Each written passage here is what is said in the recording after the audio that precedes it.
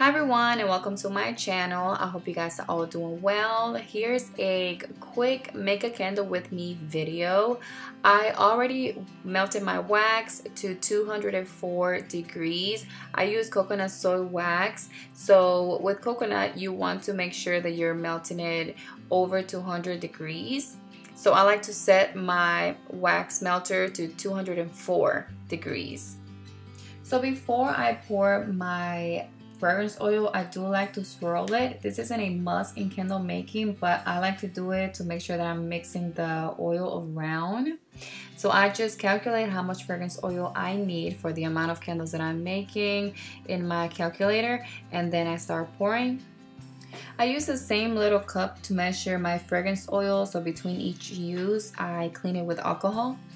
So once my fragrance oil is ready, it's time to measure my wax. But before I even start to pour the wax into my pitcher, I like to warm it up using my heat gun. And this is going to help the wax not get cool really, really fast.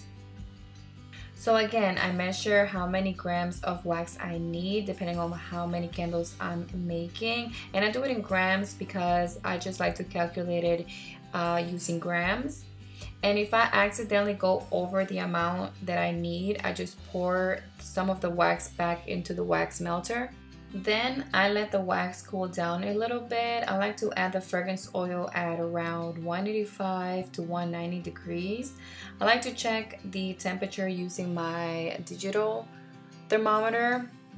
I really don't like those uh, gun thermometers. I feel like they're not very accurate. I actually have one. I use it to, from time to time, but not alone. I always check the um, temperature using my thermometer that goes in the wax.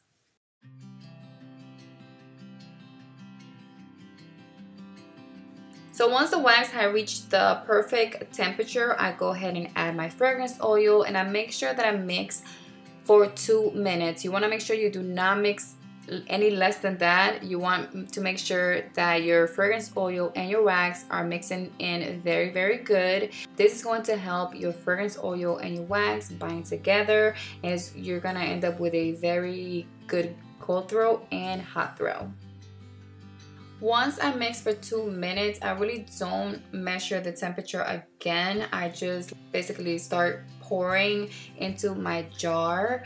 I feel like the temperature for when to pour into the jar to me is not really really important. I just go ahead and once my the two minutes are done of mixing I go ahead and pour into the jars. And I have this measuring stick that my fiance made for me to ensure that I am pouring nine ounces in each jar so yeah that is basically all i do. If you guys want to see more videos like this make sure you hit the like button and subscribe to my channel and see you guys in my next video. Bye